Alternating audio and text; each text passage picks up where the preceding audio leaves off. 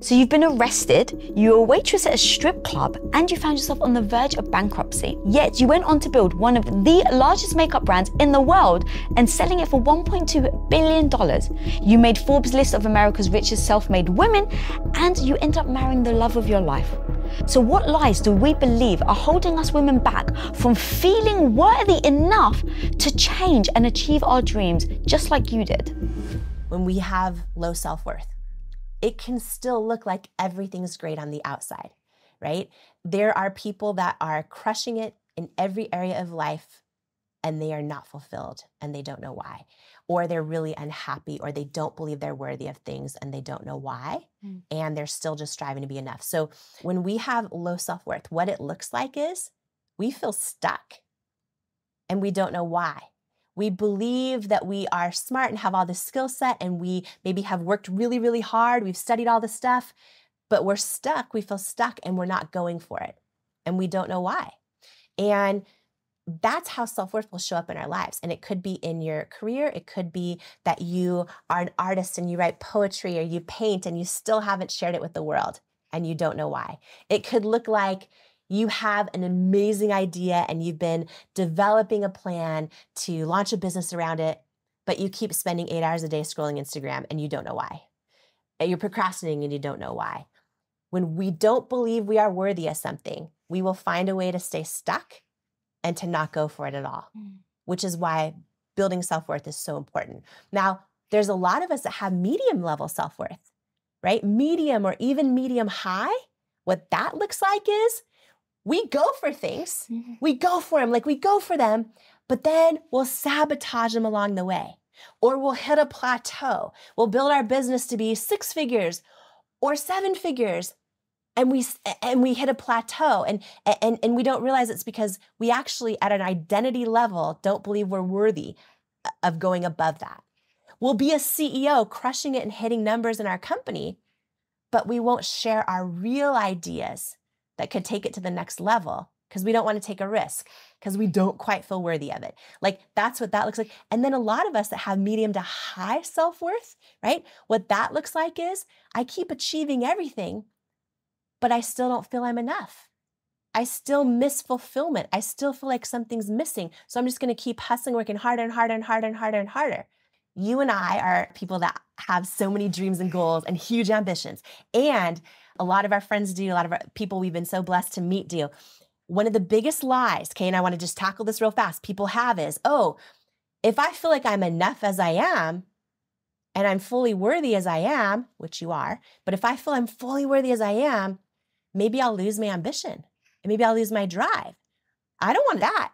I like feeling like I'm never enough, so I work harder and harder. It is the biggest lie. When you feel fully worthy, exactly as you are, it does not kill your ambition. It actually fuels it because now you're no longer, you don't worry anymore if you if you fail because you know it's not tied to your self-worth. You know you are rock solid enough as you are. So you actually when you have strong self-worth, you actually take more risks. You actually have more ambition.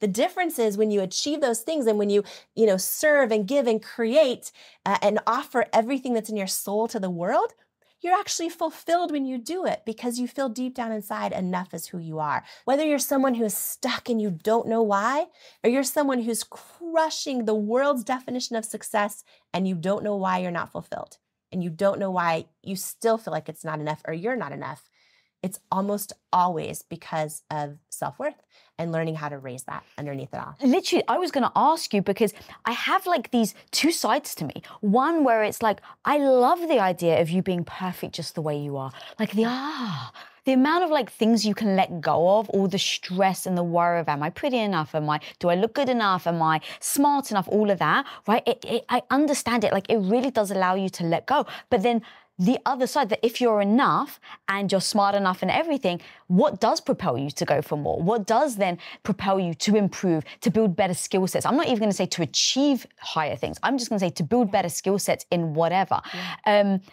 and you just answered it because that's the disconnect sometimes that I think about and I worry about in myself that if I think that no Lisa you're perfect the way you are then I won't keep going. And so I kind of I, I, liken yeah. it to um, like I just have like these dual pe- people in my head, and I've got like the one voice in my head that's like, "I love you, Lisa. You're good enough," and I go, "Come on, what the fuck are you doing?" you know, on the other side of my brain yeah. screaming at and me. you need both. This is the thing you need both for fulfillment, right? To feel you are enough worthy of love and belonging exactly as you are, and also to be growing and building self confidence and contributing. Mhm. For ultimate fulfillment, you need all that. And the biggest challenge is that most people only do the stuff where they're growing and building confidence, but underneath they don't feel enough as they are. Mm. And that's when you can do all of it and never feel fulfilled and not know why. How many people have six pack abs, have business that are crushing it, have they're doing all the things, they're in the cover of magazines, they have 50 billion followers, and they still don't feel enough. Right? So they're actually not able to enjoy Mm. any of the stuff that they're doing or to feel fulfillment. You know, so that's like the one thing is building that that sense of worthiness that you are enough exactly as you are and you're worthy of love and belonging exactly as you are. Mm. You're able to then enjoy it and you're and you also know you know what? If i put myself out there and i fall flat on my my face you know it might hurt my confidence but doesn't hurt my worth. Dude, that's so strong. I mean, I wrote a whole book about confidence, and it never really like I would I said in the book multiple times like confidence is a muscle. It it like you have to build it, and then also it can ebb and flow. It's not like you always have the confidence. And so when I read your book and that worthy piece, I was like, oh my god, that's that underlying the foundation to then be able to build your confidence. But if you don't actually believe in yourself and have the worth, then you're not going to go for it. Because let's say you believe you've started uh, It Cosmetics, right? Yeah. and you've gone out and you've had a million rejections, but you've got one that you actually think the deal's going to come through. So you spent three years, you and your husband, like saving every penny, building the company, really sacrificing, and then you um, you go to this one guy, and you think the deal is done, the dreams come true, and if you don't mind sharing that story of what he says to you, because this goes to that moment again. I, I am obsessed with this movie, Sliding Doors. Have you ever seen it with Gwyneth Paltrow? So it's a, my audience heard me speak about it a thousand times, but it's a story where she's about to board uh, the underground, the tube, and she makes the tube. And then it cuts to a moment and it repeats where she's running for the underground and she doesn't make the tube.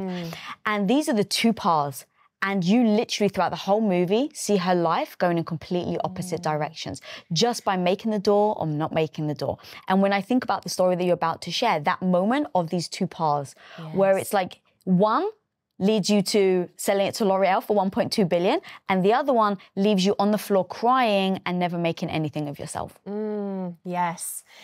Yeah, the moments that define our destiny, right? And how we handle those moments. Exactly. Right? It's how we handle those Mhm. moments. And, you know, uh, so the one particular rejection that you're talking about, the story out of thousands of rejections, by the way, anybody today, right now, who's feeling rejected or like they're facing setbacks or any of those things, like they are never an indication of your potential for success. Mm. They are not. And the key is to never let anyone else's doubts about you turn into doubts about yourself in your own head. That is everything. Like how we handle those moments, it's not if they're going to happen or not, it's how we handle them, right? And like what are the tools in our toolbox to pull out and decide how we're going to handle those moments can change everything, right? And so uh, in this one example, we had faced, oh my gosh, years of rejection. We were down to no money. I didn't know how we were going to make it as a company.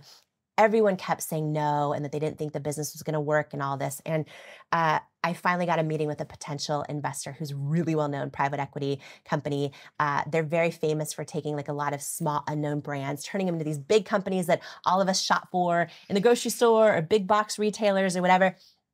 And I was like, oh my gosh, if they invest in us, because they got a hold of our product and really liked it, I was like, if they invest in us, like it's going to be life changing. Like, A, we're not going to go bankrupt. B, maybe they can use their power to get me into all these retail stores that keep telling me no, like all this stuff, right? I was like, this is huge. And so we started taking meetings and meeting after meeting after meeting. It got to the final meeting. We had lawyers involved. We were in the diligence phase, which meant they were going to acquire the business or, or invest a big stake. And it got down to the final meeting where I was presenting the whole product pipeline. And at the very end of the meeting, like I thought this was going to be the moment, like my saving grace, Mm. right? And the head guy was about three feet from me. Uh, and then his whole team was behind him and they were awesome. Uh, and he says to me, like, congratulations, you should be so proud. This is a really, really great product, but we've decided it's a no. Uh, we're going to pass on investing in It Cosmetics. Now, this was years of hundreds and hundreds of no's in. I was hoping this would be the one. And he says that to me. And I say, okay, um, can you tell me why? Because feedback is usually a gift. Um, I said, Can you tell me why? And he just got really quiet. And he's standing about three feet from me. And he says, Do you want me to be really honest with you? And I was like, Yes, please. And then he just paused for the longest time. And I remember I started feeling my heartbeat in my ears because, like, I didn't know what he was going to say. And then he says these words to me. I remember the moment his mouth started opening, and he says, I just don't think women will buy makeup from someone who looks like you with your body and your weight. And when he said those words to me, I actually never felt any anger toward him. But what happened instantly was like a lifetime of self doubt and body doubt, like flooded my body all at once. So I actually felt when he was saying these words, like I was staring my own fear straight in the eye. Mm-hmm. But the moment he said those words, I got this feeling deep down inside. I'll never forget this feeling in my gut, like my knowing, right? Not my head. My head was like, lifetime of self doubt, body doubt, I'm not enough, all that, right? Mm. The moment he said those words to me, I just don't think women will buy makeup from someone who looks like you with your body and your weight. I got this strong feeling in my gut that said, he's wrong. He's wrong. Like I felt it. Didn't know how I was going to prove it, but I felt it. Right now, Lisa, 89% of girls and women will opt out of meaningful activities with friends, with family, in public because they don't like how they look. 89%? 89%. Holy shit. So there is a whole chapter in here about do not wait on your weight to live your best life. I do not care what your weight is, but do not wait on your weight to live your best life. I think back to so many times in my life before I learned how to build self worth when I waited on my weight to go on the date, to get in the photo, to attend the reunion. So many of us do this. And it's like, ah, uh-uh, uh the time for change has come. It is why I wrote Worthy. No girl, no woman, no person left behind. Ah, uh-uh. uh. 89% of us opt out of meaningful activities because we don't like how we look. What has this cost us in our life? In our relationships, in our friendships, in our joy, in our fulfillment. So, in the moment this investor tells me this, and I go cry, in the next six years, there are moments that come to me where I'm like, okay, well, maybe I do just need to change my weight all those things, right? But I know that's a lie.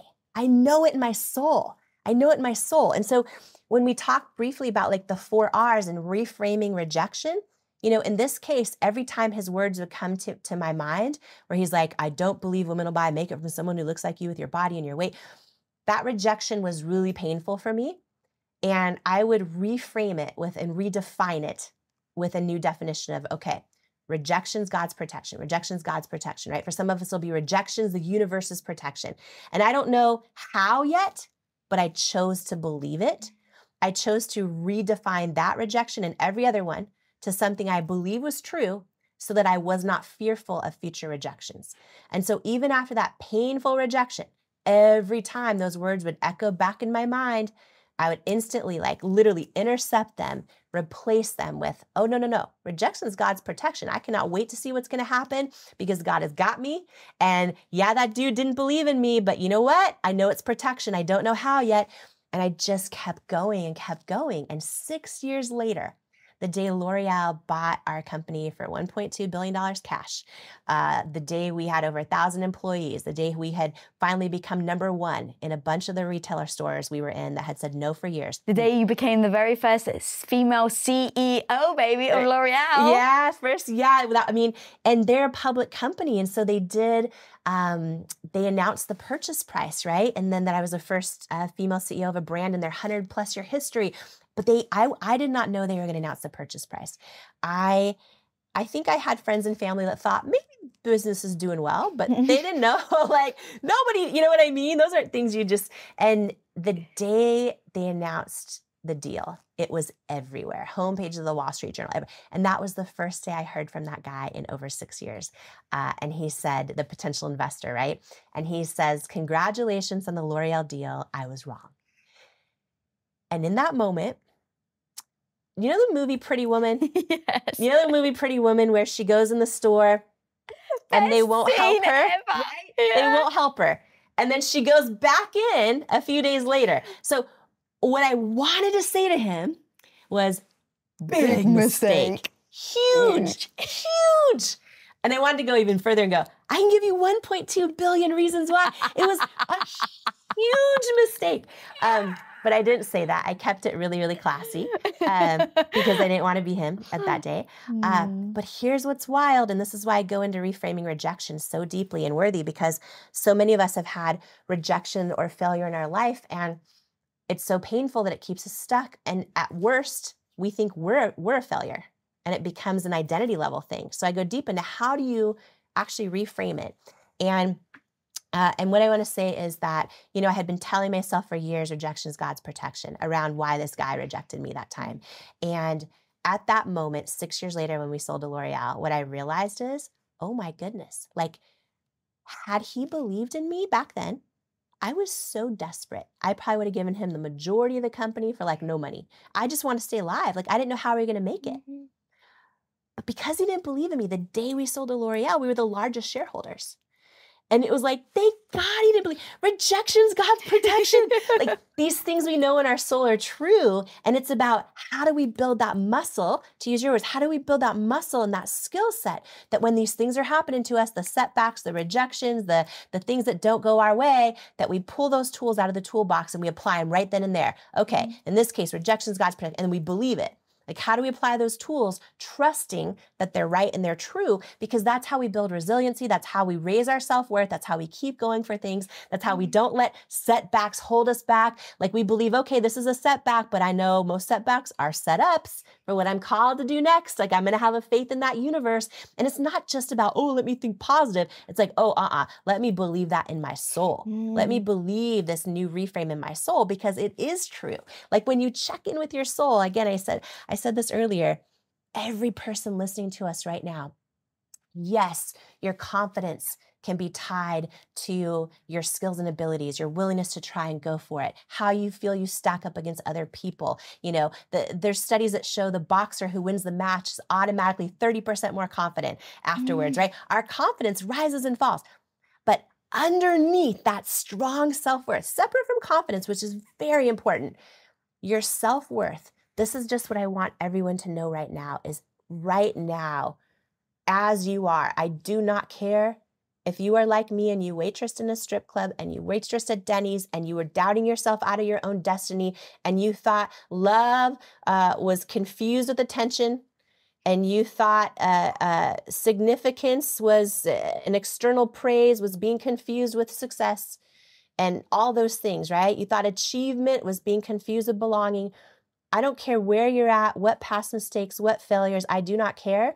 I don't care who you've hurt and you regret. I mean, we how many mistakes you've made. Like right now, exactly as you are, you are fully worthy. Nobody can give it to you or take it away. Like you just are.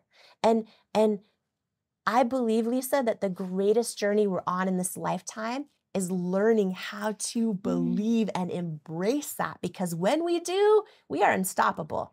That's when we are unstoppable. That is when we are in alignment with our assignment.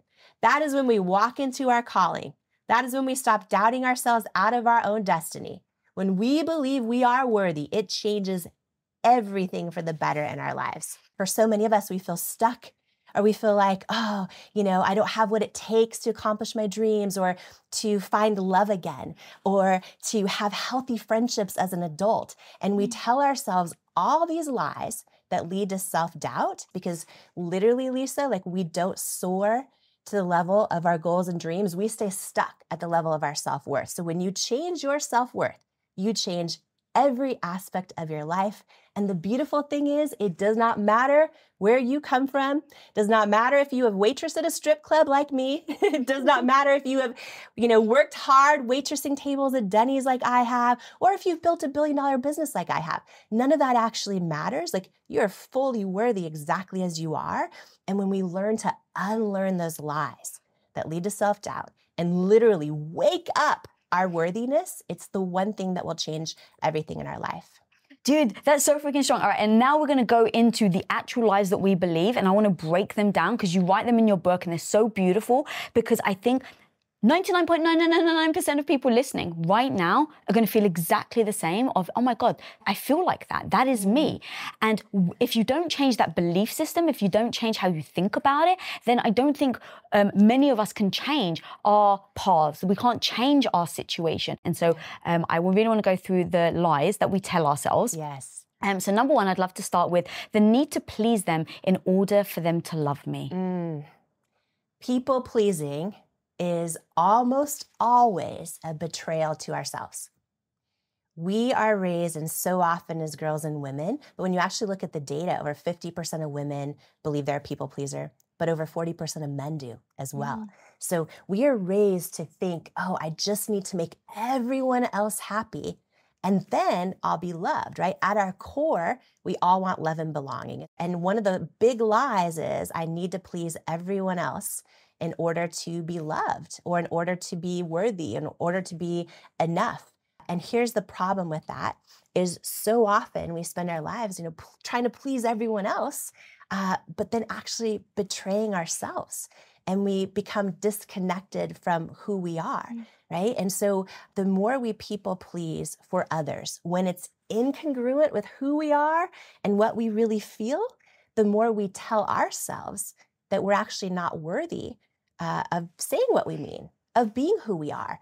And it chips away at our self worth slowly but surely. So it is a huge lie that we tell ourselves that, okay, if I just make everyone else happy, then I'll be happy, mm-hmm. then I'll be loved. And it's actually the opposite. And what's beautiful is when we, and I go into Worthy Deep and how to do this, how do you truly learn to, you know, not people please in, at the expense of betraying yourself.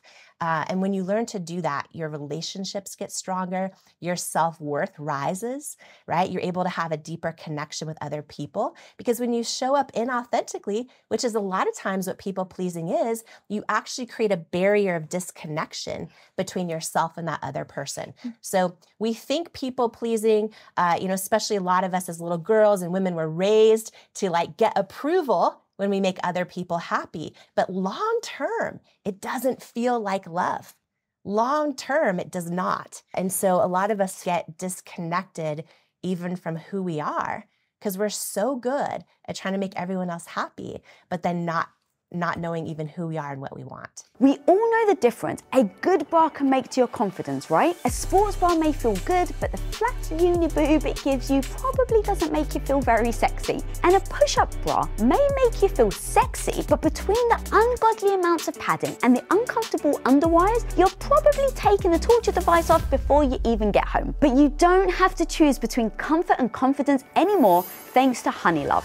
Honeylove has revolutionized the bra game designed with back smoothing fabric to prevent bra bulge, a bonded underbust to lift without the underwire, and no bulky fabrics that trap heat. And right now, guys, you can get 20% off your entire order when you shop at honeylove.com slash WOI. Click the link below or go to honeylove.com slash WOI and you'll get 20% off your entire order. Treat yourself to Honeylove because, my homie, you deserve it. Dude, this is so strong, and I'd love to dig even deeper and say, how do we do that? Because you even said in that moment, sometimes when you've pleased someone, let's say you're in a relationship and you've really done something that doesn't feel in alignment but the other person is like giving you the accolades. They're telling you how amazing you are for doing this thing that actually doesn't feel good to you. And so it becomes almost like a bit of a downward spiral, or you just double up, right? Because you're like, oh, well, they made me feel good about myself when I did this. I really like the feeling of feeling good for my with myself. So I'm just gonna do it again. But long term, like you said, it actually doesn't align. So how do you start yeah. to break that? What are the things that in fact, let's just take a random Wednesday, Jamie. Yes. So, random Wednesday, you're a people pleaser. You get your validation from other people, from them applauding you. You wake up on a Wednesday and you've got all these habits, mm-hmm. right? Where it's like you're used to, let's say you're a mom, taking care of the kids first, taking maybe care of your partner, maybe going to work, earning the money, coming home. Like you get into like these habitual patterns. Mm-hmm. So, how do you actually even start to break that? Mm. The very first thing is to start asking yourself, how does this feel mm. to my soul? Because when we do something really great for someone else, it could be a great thing. You know, if I know my husband likes, you know, something, you know, a banana with peanut butter on it or whatever, uh, great. Like when we do things that are that are kind for other people, mm.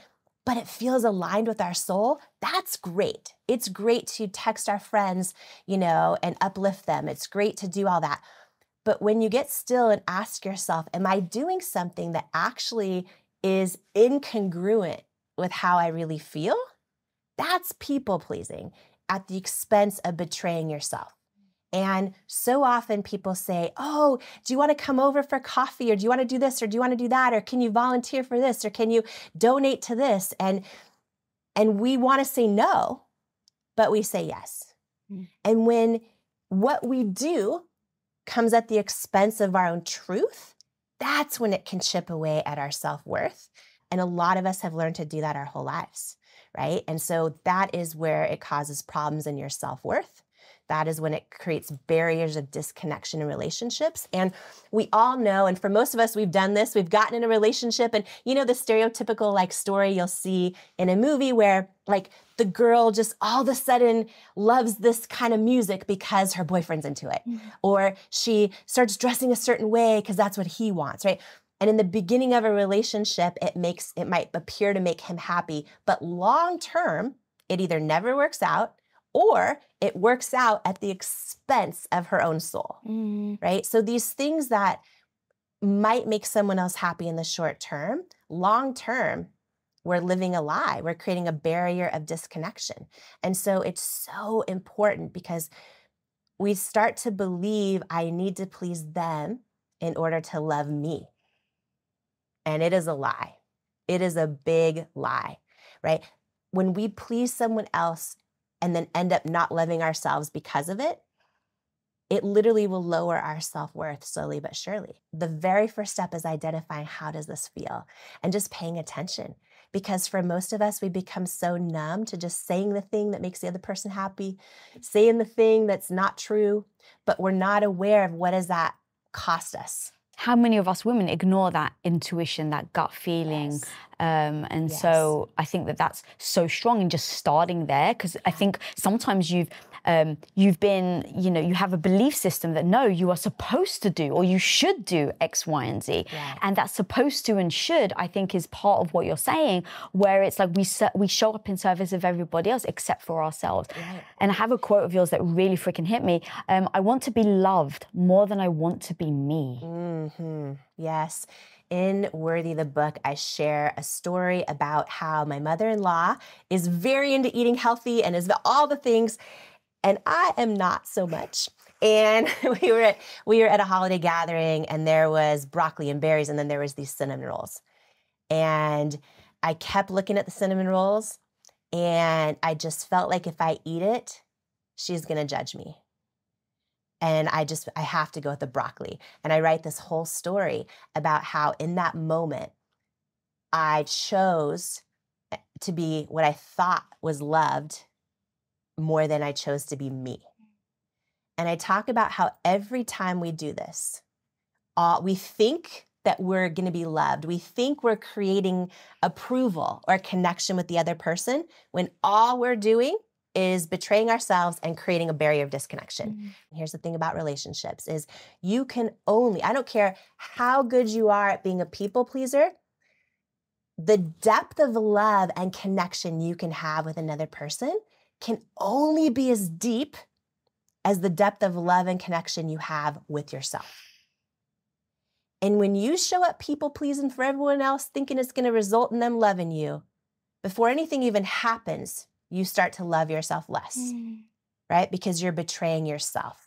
And then you're also creating a barrier of disconnection between you and them. And so for a lot of people and especially women, right? The 50 plus percent of women that say they're people pleasers and they struggle with it all the time.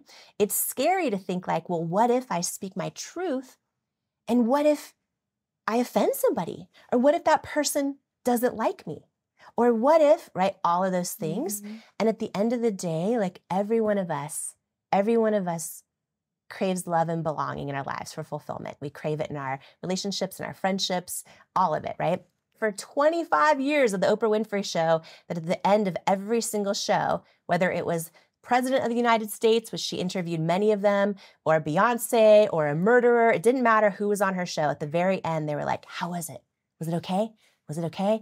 And she says that she realized every single person wants to know like, did you see me? Did, did you hear me? Did what I say matter to you?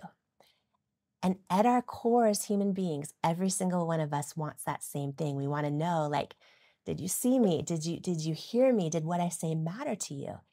And here's the problem is when we show up people pleasing and betraying ourselves, we are not showing who we truly are. We're not being seen for who we truly are. Mm. We're not saying what we really mean.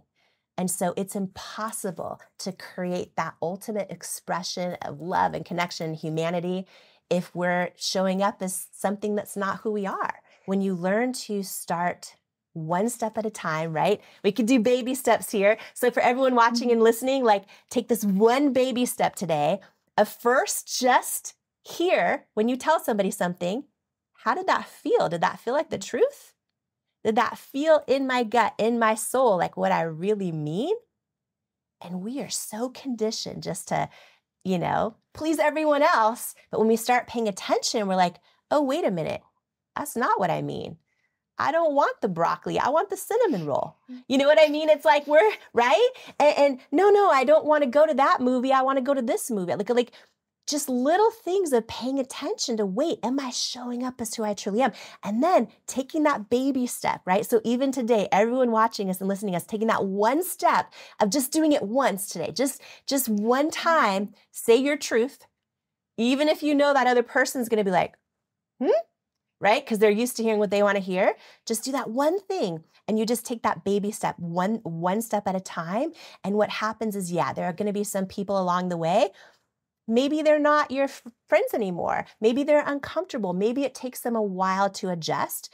But over time, it is how you build a relationship with yourself. It is how you raise your own self worth. And remember, in life, like we don't rise to what we believe is possible, we fall to what we believe we're worthy of. And every time we people please someone else as a betrayal to ourselves, we tell ourselves, I am not worthy of saying what I really mean. I'm not worthy of showing up as who I really am, right? And, and, and that impacts every aspect of your life. So take that one step today, mm-hmm. right? Say what you mean, one step at a time. And over time, you start building your self worth and you start building that depth of connection with, and, and real friendships and, and real partnerships right now as as we're talking how many people are in a relationship and they just feel like something's missing and they don't know why they don't feel the depth of connection that they mm-hmm. crave. And it could be a romantic relationship, it could be a friendship, it could be a relationship with your family. But like, I don't understand why we're not so connected. I want that connection. But then when you stop and ask yourself, wait a minute, do I have that connection with myself? Right? And that's where we need to do the work. And slowly but surely, the more that you show up as who you truly are, then you'll see the connection with the people in your life starts to deepen and you start to feel fulfillment and you feel more fulfilled and less like something's missing. Mm, good. I love that. And that's why I love that story about the broccoli and the cinnamon roll because it's those little, it's a little decision. It's yeah. a little thing that maybe other people would just brush by yeah. and not think twice about. And it's like, well, it's my mother-in-law. I know that she's going to look down on me. If I choose the cinnamon roll, fine. I'll choose the broth. Right? And you don't realize, to your point of the disconnection you're having your, with yourself, but then yes. also to her, because yes. you're being a false version of who you actually yes. are. Exactly. And so much of the time, we think we need to people please someone else and this and that, and it's still a lie we're telling ourselves. I was mm-hmm. sitting there thinking my mother-in-law is going to judge me for eating the cinnamon roll. I'm going to eat the broccoli. Meanwhile, uh, how the story kind of wraps up is I'm like, you know what? I decide if I'm gonna have an authentic connection with her, I need to show up as who I really am. I eat the cinnamon roll. I'm waiting for her to judge me. And she literally starts talking about the kids and how she could care less mm. that I ate the cinnamon roll. Mm. So the whole time I was telling myself a story, projecting my own insecurities onto her, and creating a barrier of disconnection between me and her in the meantime, mm-hmm. right? All because I was telling myself a lie that she was judging me. So then I was trying to please her because I wanted connection, realizing when you try to please other people, you just create disconnection. Yeah, oh God, that's so freaking strong. And that goes to another lie that you talk about in the book is that we always think we're going to be enough when. Mm. So talk to me about that. Yeah. I'm gonna like get so fired up yeah, out of this chair. Go, okay, everybody watching and listening right now, Lisa, this is the lie. This is the lie that will take us down our entire life. This was this is the lie that has us thinking, okay, I just got to do more. I just got to achieve more. Then I'll feel enough, right? This is the lie that thinks that that tells us because something's missing, it means I'm not yet enough. And oh my gosh, the lie that once I finally get the thing or achieve the thing or do the thing, then I'm enough. It is a perpetual lie that leads literally to nowhere. And so let me just start by asking like this question, right? For everyone who's listening and watching us right now, um, uh, have you ever had this goal in your life and you thought, when I finally get that goal, then I'm gonna be happy. Then I'm gonna be fulfilled. Then I'm gonna be enough. And for some people, it might be like, when I finally hit the salary level of my job. Or for some people, it might be like, oh, when I finally, you know, get married, or when I finally have the white picket fence, or when I finally have 2.5 kids, or when I finally, you know, uh, uh, get that degree, or when I finally get that dream car, or the six pack abs, or that certain fit, whatever it is, when I finally get that thing, like then, then I'm going to be happy. Then I'm going to be enough. Then I'm going to be worthy. And then what happens for so many of us, right? And everyone think about that thing right now or different examples in your life. But for so many of us, we work so, so, so hard. And for some of us, we spend a lot of time and a lot of years. And then what happens? We finally get that thing. We finally get that job title or that number in our bank account or that number on the scale or the six pack abs, the relationship, and we finally get it. And then what happens? Like, does it, right? And think about this in your own life? Did it solve all your problems? Did it make you happy? Did you finally feel like, yes, I feel fulfilled and I can ride off into the sunset in full fulfillment and bliss? For most of us, the answer is no, right? We arrive at the thing and then we go, okay, and we're happy. And for some of us, we're super happy for maybe a year or a month or a week or a few hours. And then we're right back there to feeling like, huh, okay, that didn't fulfill everything. I still don't feel like I'm enough. So then what do we do? Right? I still don't feel fulfilled. We think, huh, I've just got to achieve more. I just got to take it to the next level. Then that will be enough. And this becomes a perpetual cycle. So here's the deal. Here's the lie. Here's how we change it. because this is big. Self worth is the one thing that changes everything. And when you look at overall fulfillment in life, you always need uh, to be growing, right? And that could be growing in your faith, growing in a hobby, growing in how you show up in the world, growing in your fitness goals, whatever it is. But we always need to be growing. This is for ultimate fulfillment. We always need to be contributing to something beyond ourselves, which could be in the form of some type of service or in the form of being a friend to someone who doesn't have one. It could be in the form of mm. donating, it could be whatever, but always about something bigger than ourselves. So, contribution, growth. We always need to be building self confidence, which is so important. But those three things combined are multiplied by our level of self worth for ultimate fulfillment. And when I say that in life, we don't become what we want, we become what we believe we're worthy of. Self worth is the foundation to everything. It's truly the foundation.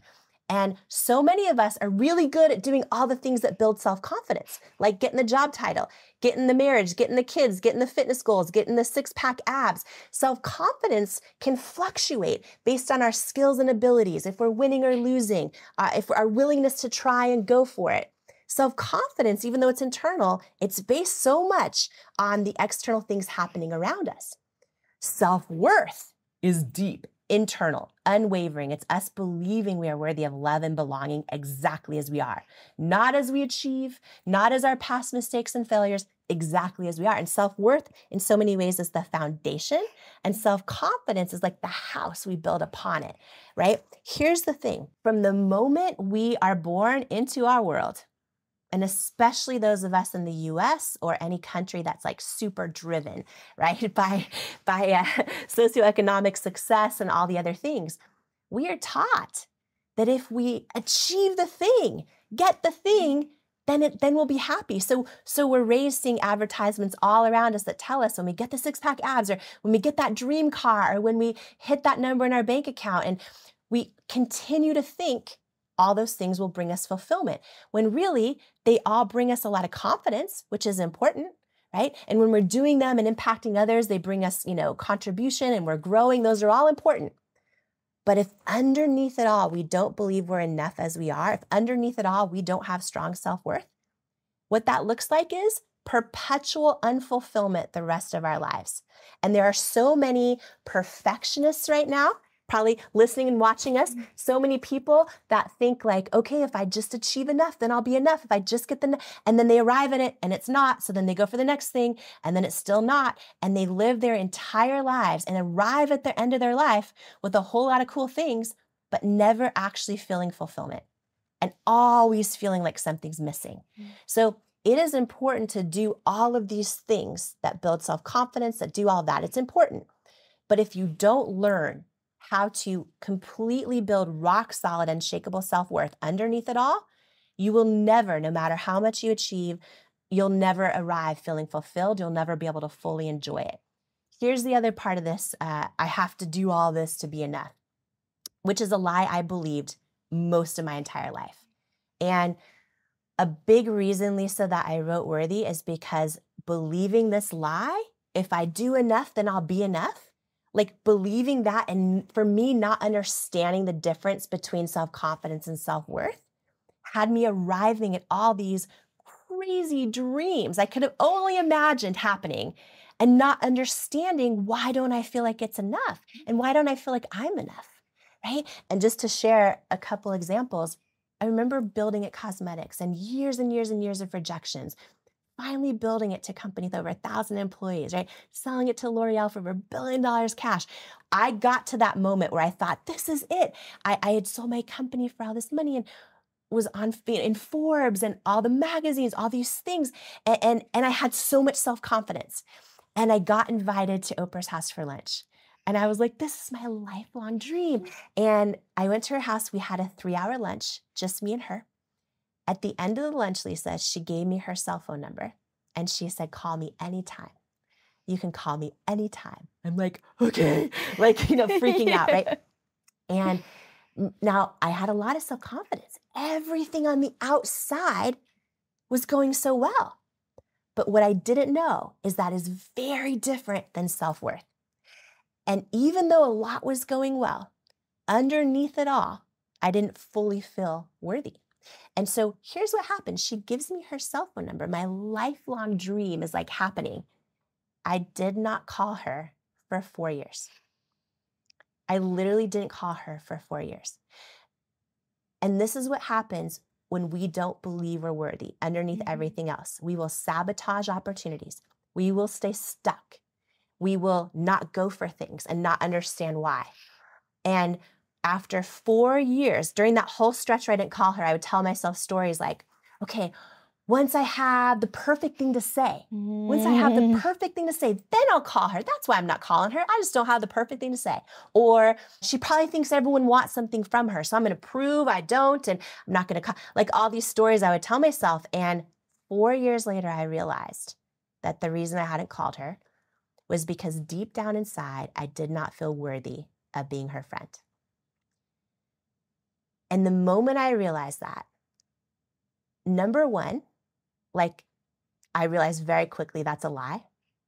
Like I am a kick-ass friend. you know yes, what I mean? You are, girl. like, and in that moment, I'm like, oh my mm. gosh, my self-doubt and my thoughts, which we are not our thoughts, but our thoughts can convince us we are them sometimes. And my self-doubt and my thoughts had gotten so loud and were telling me I wasn't worthy of it. But that moment when I realized it, I felt in my soul, which is very different. In my soul, my knowing, like, oh, I am more than worthy of being her friend or anybody's friend. I'm a great friend, right? And that was the moment I picked up the phone and called her. I came so close to doubting myself out of my own destiny, even though I had built all these things that the world would say look like enough. So I must feel like I'm enough, right? And I still didn't.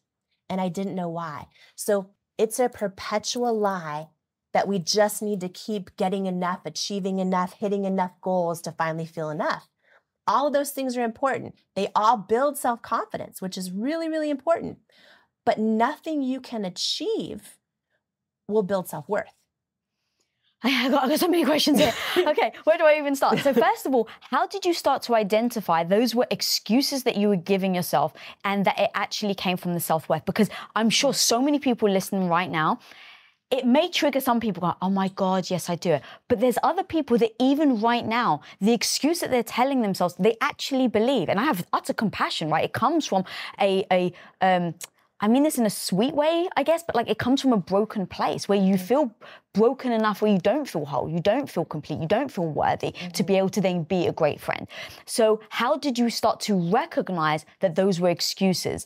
And then how did you pivot going from I'm not enough to call her to immediate like for four years mm-hmm. and then you pick up the phone and call how what's mm-hmm. that gap yeah so the gap is this we all I just didn't know, right? And I didn't realize, oh, I'm telling myself excuses. Exactly. I actually believe them. Right. That's, I actually that's the worst freaking excuse. Yeah, yeah. I believe them. They're lies. Mm-hmm. I believed, you know, just like my whole life, mm-hmm. oh, when I achieve enough, then I'll feel enough you know, all of mm-hmm. those things. And so it was a moment that hit me like a ton of bricks where I feel like, um, you know, Oprah calls them aha moments. Mm-hmm.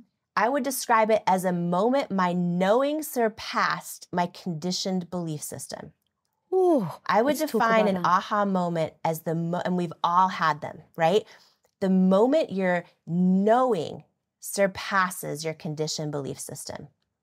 And sometimes they come out of the blue and they hit us like a ton of bricks right? And, and, sometimes we work really, really hard to tune in and to hear our own gut and say, what is the truth, mm-hmm. right? They can come in different forms. This was a moment that hit me like a ton of bricks. And in that moment, it took everything out of me to literally, I imagined myself in that moment, Lisa, turning down the volume as if it was a volume dial, turning down the volume on my own self doubt and my thoughts, right? And turning up the volume on my knowing or my mm-hmm. intuition that said, you are worthy of being her friend because I know that's the truth. And right now, every single person listening to us, watching us right now, if you get still and you tune into that knowing, not in your thoughts in your head that our whole lives we've been conditioned to learn we're not enough, right? 80% of women do not believe they're enough right now. And it is a lie. Right? But the do but I'm not enough, that comes in the form of our belief systems and our thoughts, but that is not who you are every single person right now, if you get still for a moment and you tune into your gut, to your knowing, to your intuition, it'll tell you right now, oh, you are more than enough. Mm-hmm. You are fully worthy exactly as you are, like exactly as you are. And when we learn to trust that and to trust that knowing, it changes everything. So that moment when I decided to call her, it was like I literally imagined just turning down the volume on my self doubt. I was like, I am not listening to this anymore. And just tuning into that knowing, right? And just like putting that on full blast that says, I know. I know I'm a great friend. Like I know I'm worthy of calling Oprah. And, and that's when I just picked up the phone and did it and just took that step and did not let my self doubt doubt me out of my own destiny. And it's one step at a time. Every person right now today we're going to do this. Like literally, we're going to do this. Like no girl, no woman, no person left behind and knowing they're worthy. Because when you believe you are worthy, the second you decide to believe you are worthy is the moment every single area of your life changes. It's the moment past and future generations of your family change. Like the second we believe we're enough is the second it changes everything. It impacts everything. Because again, we do not rise to what we believe is possible, we fall to what we believe we're worthy of. Everything that you've just said it may resonate for a moment, right? Yeah. Everyone listening, like inspiration, motivation, we know yeah. is beautiful. Yeah. But when that person leaves, after they finish watching this interview yes. and they're sitting by themselves and they yes. get that ding, they get someone telling them they're not good enough. Yes how the hell do they make sure they don't stay there? That's why I like to go deep so that they've then got these tactics to then go back to. I love this so much. There is a masterclass in this book and a whole framework on the mm-hmm. four R's where you go deep into how do you identify your current definition of rejection? How do you redefine it? How do you revisit past rejections and redefine them? How do you become fearless over rejection and failure in your life, right? Because part of my journey was hundreds and hundreds of no no's and rejection over years building It Cosmetics. A lot of times when people Google the story, they're like, oh, it's a fairy tale. Yeah, yeah. I'm like, oh, not so much, right? But a lot of us, we fear rejection and failure as something that is painful. So then we avoid doing stuff at all costs. We stay stuck. I so easily could have been in that Oprah situation, could have still not called her for four years, and could be sitting here with you right now thinking, oh, yeah, I just got to, uh, uh I, I'm just still not enough. I got to achieve more. I got to do more. I got to accomplish more. Then I'll call her, right? I would still be thinking I need to do all the things that build confidence or whatever, but not understanding, oh, wait, it's a self worth issue. Mm-hmm. And not understanding the difference. I want to say one thing before I forget too is you're using this example of the train, right? And mm-hmm. you get mm-hmm. off or you get on mm-hmm. and here's the thing too is like oh my gosh for everyone listening i keep like hitting your couch. I'm getting so excited, right? here. Um, but for everyone listening and watching us right now how many times have the train doors open and we didn't get on because we didn't feel we were worthy of it we didn't feel where we hesitated. We held back. And who freaking knows what would have happened if we stepped on because we believe we're worthy of it and the door is closed and we go to a whole new destination, right? That is why, like, that is why I'm so passionate about this, about building self worth, because so many of us have doubted ourselves out of so many things in our destiny. You know, I mean, I came so close to, to, to never calling Oprah right? And and and in my case, that was a lifelong dream. I was sabotaging. Mm-hmm. I would have never then taught a course with her. All the things. I would have been on a different train. Mm-hmm. I wouldn't have been on a train teaching course with Oprah, which for me mm-hmm. means so much. So, how many things for you and everybody listening means so much, but you didn't get on the train yet? And the doors are open, and then they close, and the train takes off. But the good news is, just like a train schedule, there's another one coming. So, how do you believe you're worthy of stepping on that train when it pulls right up to you and when the doors open? Because the trains are going to keep coming. Mm-hmm. But for so many of us, it's like we still don't step on that. We still don't put our art out into the world. We still don't show up on social media as who we authentically are. We still don't tell the person we want to be more than just friends right? We still don't register the domain for our business. We still don't set that boundary with the family member right? We still don't, you know, turn the lights on in the bedroom. We still don't put the swimsuit on in summer, right? All those things. And we're missing the train.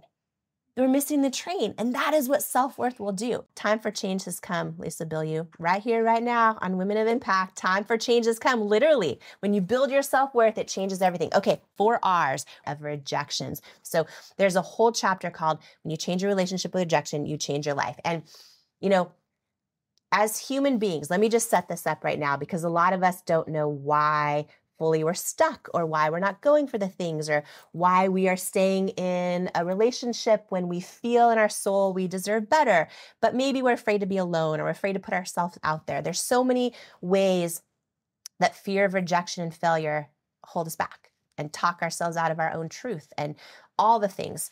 Uh, so, just to take a step back, as human beings, we're wired to avoid pain at all costs, right? It's how we've survived. And it's why for some of us, uh, when we when we associate pain with working out, even though we know the pleasure of you know feeling great and you know hitting our fitness goals and all that, we will choose to avoid the pain mm-hmm. over going for the pleasure most every time. And with rejection and failure, when we fear them, we often fear them for very painful reasons. We associate pain with them.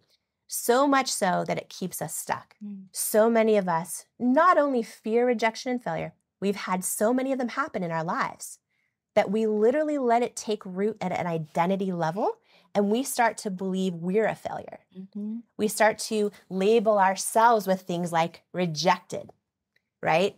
failure, not enough, don't fit in, unqualified, all the things. So let me just start. We're going to go through the four R's together, okay? Yeah. Everyone listening, watching, let's do this together. You got to go all in with me and Lisa, though. Got to go all in. Uh, and and and be really honest with yourself because this will be eye opening I think for a lot of people when they go mm-hmm. through this. So let me just start with a question, okay? Because the four R's are uh, uh, to uh, reveal, to redefine, to revisit, and to revel. But let me explain what that means and how it can literally change your life right now. What up, homie? I got something free and new to share with you right now. How often are you visited by that negative voice in your head telling you that you're not smart enough, that you're not good enough, experienced enough, not fill in the blank. One of the most powerful things you can learn to do in life is to turn that negative voice into your bestie.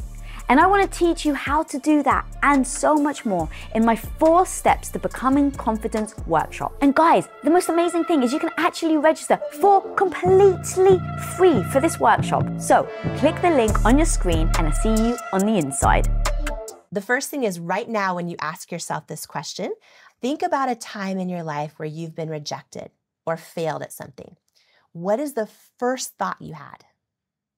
And be really honest with yourself. And you might need to kind of imagine yourself in a, in a situation where, where you've been rejected or you failed. What is the first thought without thinking about it? This happens without us thinking about it. But what's the first thought you thought to yourself when that happens? Um, okay, first thought. See, I told you you're stupid. Mm-hmm. That would be your first thought. Yeah. Yeah. Yep. For me, my first thought most of my life is, yep, I'm not enough. Yep, there's proof again. Mm-hmm. I'm not enough. And yours is, yep, I told you you're stupid. Mm-hmm. Lisa, Bilyeu.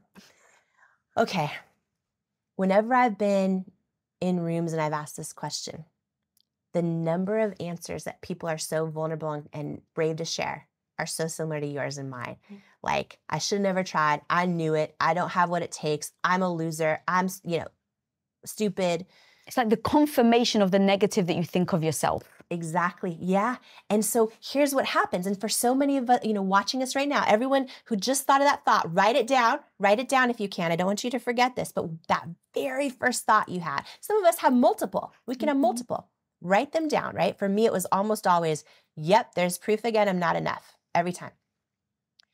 What your thought you just had right now is, is your current definition of rejection or failure. Mm-hmm. That is your current definition. So we've just revealed, first R, your current definition of rejection or failure. For most of us, that definition is so painful that we want to avoid it at all costs. So, because here's the thing in life everything is the meaning we assign to something, mm. right? And if you are assigning a meaning to rejection or failure that's painful, we're wired to avoid that at all costs, which is then why we feel stuck, why we're not going for things, why we're not taking things to the next level. We don't want to risk feeling like, oh yeah, I'm stupid, I'm not enough, I'm a loser, all, all the pain that comes with rejection or, or, or failing, right? Mm-hmm. So revealing your current definition is huge.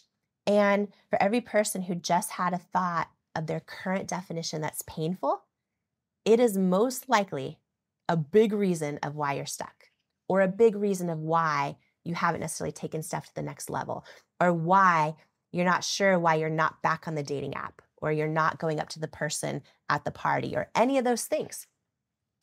If our definition stays painful for our entire lives, it will prevent us from taking our life to the next level, right? And we will end up looking back and going, wow, what has fear of rejection or failure already cost us in our life? And for so many of us, the answer is way too much. Even to pause this episode or to to do this at the end of the episode and really take some time mm-hmm. and think, what has this current definition mm-hmm. of rejection and failure already cost me in my life? And you can even do it by categories in my life, in my relationships, mm-hmm. in my friendships, in my hopes and dreams, in mm-hmm. my career ambitions, in my joy, in moments of being at the pool with everybody, moments with my mm-hmm. children, all of it, right? Moments of celebration. What does it cost me when I look in the mirror? For a lot of us, we reject ourselves, mm-hmm. like, and we're afraid of it. So the first thought everyone just wrote out that you just had for Lisa, yours was, I see, I told you that you're stupid. Yeah, see, I told you that you're stupid. And for me, my whole life, it's been, oh yeah, there's proof I'm not enough. And so that's our current definition. We, we mm. have revealed our current definition, the first R. So the second R is to redefine the meaning we attach to rejection and failure when it happens in our life. How this happened for me, it was years and years of rejections. And one day I'd had a really painful rejection from QVC. I knew in my soul, this is the thing. When you have so many of us think our intuition's wrong, It's not wrong. It's just divine timing isn't right yet. Okay. I knew in my gut, in my soul, we were supposed to be on QVC, which is the live television shopping channel broadcast to 100 million homes. But every time I sent them our product, it was a no, right? Every time. And and eventually, we built the biggest beauty brand in QVC's history. so I was in the season of long rejections. I just got a real painful rejection from QVC. I was under my covers, crying myself to sleep, all that. And I remember I just felt like, why do I keep feeling like I'm supposed to keep going? Every time I pray about it and get still, I feel like I'm supposed to keep going when everyone around me is rejecting me or telling me no or saying it's never going to work. And uh, one day, Lisa, I Googled all the people I admire most people that have just crushed it in business, had built huge successes, thought leaders, people that have moved humanity forward, people that have been forces for good and love in this world. And I just started reading about all of them. Every single one of them has dealt with tons of rejections and failures. They're just the brave ones willing to keep going, anyways. And that day, I wrote out this new definition for rejection. I wrote, rejection does not mean I'm not enough. Rejection means this is a victory because I'm one of the brave ones who's willing to keep going for it, mm. right? I'm not one of the people sitting on the sidelines, you know, uh, uh, not going for it, living my life in regret. I'm going to decide right now that every time a rejection happens, every time I fail again at something, this is huge. This is a victory. This means this is a reminder I'm one of the brave ones willing to go for it. Mm-hmm. And I literally believe that, right? And I wrote out that definition.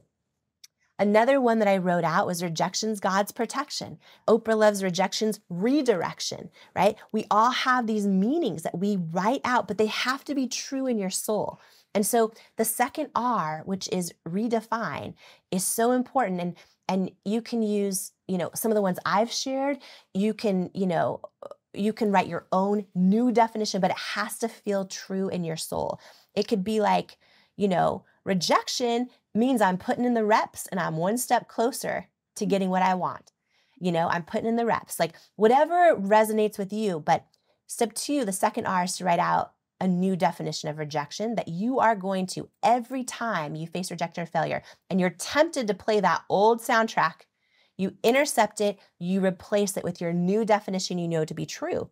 And, I assume that that new uh, that new one also has to propel you forward. Yeah, yeah. And what it does, Lisa, it make it builds resiliency. Mm-hmm. You start mm-hmm. to fear rejection and failure less because you're not attaching pain with it anymore, mm-hmm. right? And so for me, I started doing that every time. And, and in this season, in this long stretch, I don't know that I could have ever had the outcome I had with my business had I not learned how to do this. Mm-hmm. But this applies to our personal lives, it applies to every area of our dating lives, right? Every our friendships that we're trying to build because most all of us deal with rejection every day in different ways, failure every day. Just most people aren't posting it on social media. Mm-hmm. So we scroll and we think everything's great and we're the only ones, right?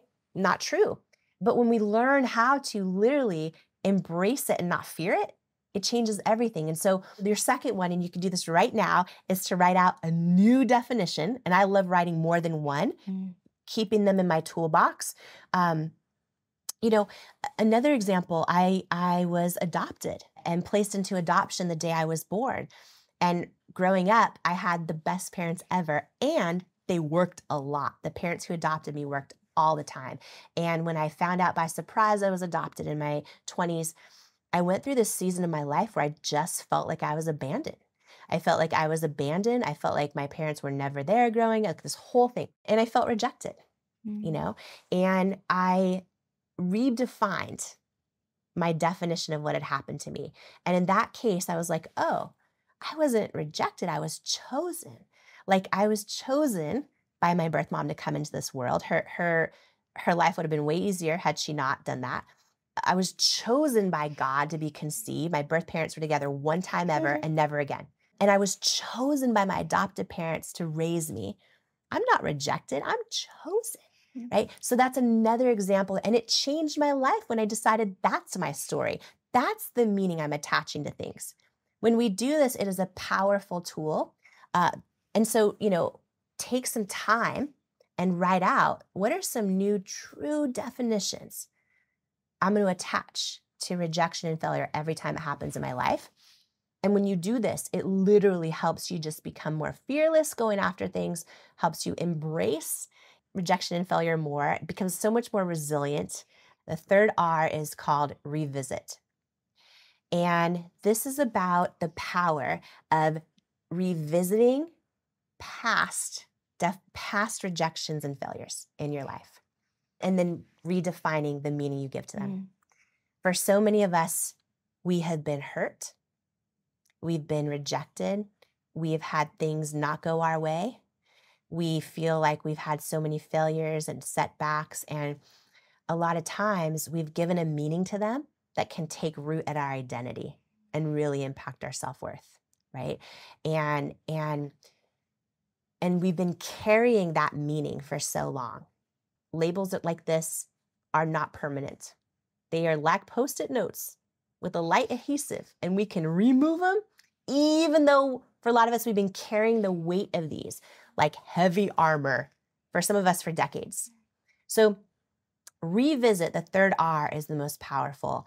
And when you go back to potentially a rejection from someone who broke your heart or someone in your family who did not know how to love you the way you needed to be loved.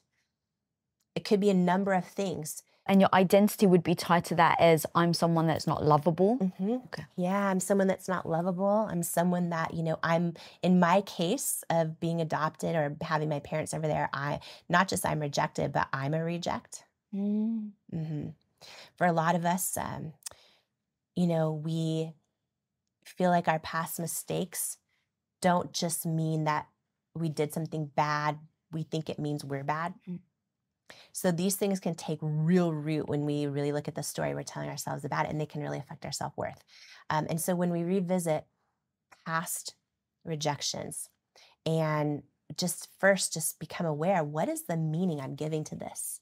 What is the definition and the meaning I'm attaching to that? And rewriting that meaning, rewriting that meaning. And this is really powerful. And then every time that memory comes to you, just like anything else, you catch it and you replace it with like for me, every time I'm tempted to be like, I'm I'm abandoned, I'm rejected, I'm a reject, I don't belong, I'm unwanted. I instantly replace that. Oh, uh-uh, I'm chosen. I am chosen. I am here on purpose, with purpose, for a purpose. Like I replace it right away. And this is real powerful stuff because it takes root at our identity. It's not just about, oh, let me think positive. Uh-uh. This is deep stuff of how we define who we are that affects every single one of us. And so, so when we revisit and redefine our new definition, it can be so, so, so powerful. And uh, and one of my favorite ways to do this, my favorite definitions to use for the third R, and this is, I think, so good for anyone who's had someone pull the rug out from underneath them, break their heart, not value you, you know it could be it could be deep stuff. It could also just be you wanted that job so bad. You applied for it over and over and over and you they didn't they didn't hire you. It could be a lot of things. This is my favorite definition when i redefine stuff in the past. I literally lisa i imagine god saying to me oh you weren't rejected i hid your value from them because they're not assigned to your destiny and i choose to believe it and and over time, we learn these things are true. Like, how many times has like the dude broken your heart and everyone was like, he is no good for you, but you're like, I love him. Mm-hmm. And you want it to work so bad and he just doesn't see your value. Now, 10 years later, you're like, thank God I did not end up with mm-hmm. him. Thank God I did not end up with him, right? God hid my value from him because he is not assigned to my destiny. And Lisa, to this day, even, you know, if we have friends and for some reason I'm not invited or or or there's someone I just adore them and I don't know why, but no matter what I do, they're just not into me. they're just like they just don't want to be friends. And the old me would say, "Oh, I'm not enough." Da-da-da. Now I'm like, "Oh, God's blocking my value from them because they're not assigned to my destiny." Mm. And it prevents me from letting this take root at a worth or identity level I believe this definition. I believe this. And over time, sometimes we don't see it right away, but over time, these new definitions, they prove to be true because you knew in your soul they were true when you wrote them. Mm-hmm. Right? When you know in your, and that's why when you write out your new definitions, you got to know in your soul level they are true. Whether for you it's, you know, um, rejection is the universe's protection. The universe always has my back. I'm going to trust it. You know, uh, whether it's for me, oh, God hid my value from them because they're not assigned to my destiny. Over time, like I know that is true in my soul. And so over time, it always proves right. Rejection's God's protection in the case of the investor, mm. whatever they are. And what this does is it completely flips that fear of rejection and failure on its head it instantly helps us get unstuck, right? It instantly just inspires us to go for things because we know what's the worst that can happen? That I'm reminded I'm one of the brave ones willing to go for it. You know what I mean? Yeah. And then the fourth R is to revel in the fact that you become real fearless about rejection and failure and that you no longer believe you're, like in my case, a reject or a failure. And this is such a powerful tool because it impacts our self worth. And you opened this interview with something I have never shared in my life about working as a waitress in a strip club. And I was also waitressing at Denny's at the same time. And I had another job I got shortly after slicing meat in the deli. And I was just hustling, trying to make it, trying to, you know, pay my way through school, all the things. But at the time, I knew in my my gut I had these big dreams and these big like, and I, I just felt I just felt like um, I'm here on this earth to serve and to impact and to to give and and and to create. But I was in this moment in my life where I didn't believe I was worthy of those things. And all of these tools, had I not learned them, I would have never stepped on the trains when the doors opened. And I'm just like to be here I'm going to get emotional if I talk about this, mm-hmm. but honestly, like to be here with you, talking about these things, to know that 80% of girls and women don't believe they're enough right now as we're talking. Like 73% of men feel inadequate. Like this affects every area of our lives. And I feel like I know in my soul when we learn to believe we are enough and worthy exactly as we are, is the moment every single thing in our entire life changes. It's the moment we step on the train, mm. and, and, and it's the train to our destiny. But so many people, they want to step and they don't, and they doubt themselves out of their own destiny. So, literally, the time for change has come, Lisa Bill. You, no girl, no woman, no person left behind, and knowing they are worthy. That was so freaking amazing the way you broke that down. And as you were doing it, I was like, this is like the medicine and the recipe, right? If you want to be a chef, you need to know what ingredients do what to something, yes. and then you can try, you can dabble, you can follow someone else's instructions, you can create your own. But we don't think that about life. I used to think when I was younger, extremely insecure, that, you know, girl in North London that was getting bullied for her looks. I would look at Oprah and I would look at other people amazing and I would just dismiss them. Mm. I would dismiss them because I was like, well, they're born special. Mm. So I, I could never do that. And it, it was um, a great soothing mechanism in real time to make me feel better about myself, to dismiss other people that were amazing. And then it, that way I didn't have to challenge or look at myself. Mm. And having gone through my own evolution and meeting you, it's insane how wrong that was. Mm. And I will let you speak for yourself, but I don't think I'm anything special. I just think I'm resilient enough to keep on going when I get dinged, when I get punched in the face metaphorically.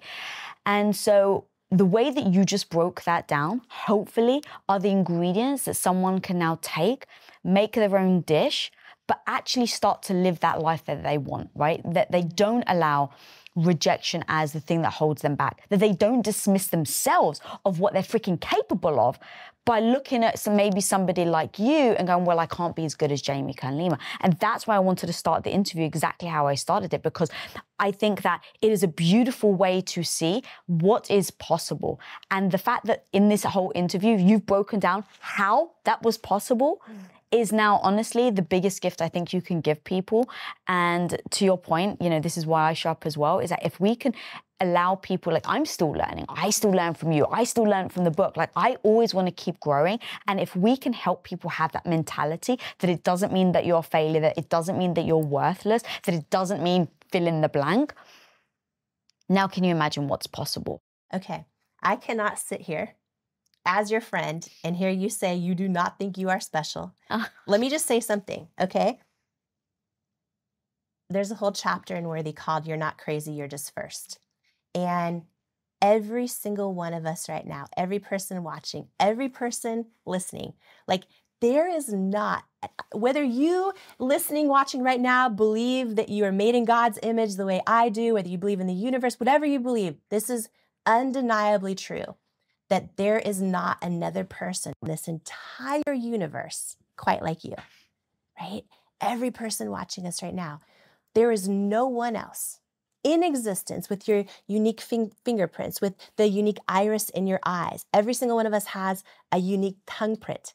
We actually have a unique heartbeat. Mm. There's no one else in existence that has the same emotions you have, the same feelings, the same thoughts, the same experiences. You are so undeniably special. You can't even argue it, no matter what you believe. You cannot argue it. And here's here's the thing that, that I would love to leave everyone with. When you are brave enough to show up in this world as who you are, all of who you are, by definition, you're first. There's never been another you before. They will, there will never be another you again. And when you show up as who you authentically are, you're first. So don't be surprised if not everyone gets it and not everyone gets you. Don't be surprised if you don't feel like you belong sometimes. Don't be surprised if you feel like there's things that are odd or quirky or different or unique or wrong with you. It's because you're first. And there are a lot of people that will not show up as who they authentically are. But when you show up and say what you mean and, and, and, and be who you are, you are first. There's never been another you in the whole universe. And when I realized this in my life, because so much of my life I felt like I didn't fit in or I didn't belong, and I had this huge moment where I realized, oh, and my family had had these big dreams and they used to call me words like crazy or this or mm-hmm. that. And I realized, I'm not crazy, I'm just first. And for every person watching us right now, when you are brave enough to be who you truly are, you are undeniably special. And also, you're first you're not crazy you're just first mm. right? And and and and the first ever you and the things we think so often are what's quirky or wrong with us are actually the greatest things right with us. They're the greatest things right with us right? And when we learn to embrace that we're first it can change everything because it's that tool right? That this idea you're not crazy you're just first it's this tool that just gives you this power to show up more as who you authentically are in every moment. And every time you do that, you tell yourself you are worthy of doing it. And that is how you rise your self worth one step at a time. Um, where can people find you and the amazing book Worthy?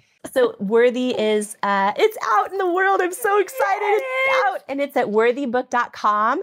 You can grab it anywhere books are sold: Target, Amazon, Barnes and Noble. Um, there's a lot of exciting just thank you gifts at worthybook.com. And I'm donating 100% of the proceeds from the book. If you're feeling stuck or trapped in life, then keep watching so that you can actually change everything. There's also something about, let's say you want to do something and those in your life do not support you doing it, and you're going to do it anyway. When you come out the other end, I'm going to tell you right now, that kind of confidence is unshakable. Mm. I have done things in my business that I thought I could absolutely never do, and it gives me the confidence to go through new things that are very scary to me. So you won't even recognize yourself. If you are, God forbid, if you get into a situation that you want to do something, your spouse does not support it, you do it anyway, and there's friction for a while, but you will come out the other end as long as you don't give up you will not be the same woman mm. at all and you will just be a better version of yourself. So there is a silver lining when you don't get the support because you are more are just like a tiger. Like i'm going to prove everyone wrong. Sometimes we need some of that energy. So there could be some good that comes of it but dang it's rocky in the middle. I totally get that. Yeah and that's why i really appreciated the fact that you Like it was one of those moments where when I read it, you're like, just don't tell him. I was like, oh my gosh, she said Okay, it. I sat there. I remember writing the chapter and I sat there like, I cannot say that. I cannot. And it was hard for me because I had a husband who supported me on day one. right. So I wasn't even in that situation. But I looked at my students. So many of the women in my Mm. my community do not have supported spouse supportive spouses, unfortunately.